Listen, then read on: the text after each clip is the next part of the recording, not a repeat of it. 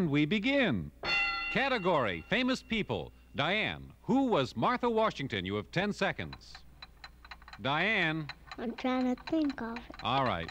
Clue. There was a wedding and she married someone by the name of George. I never went to to the wedding, I know that. but I went to to the congratulations. Now, Diane.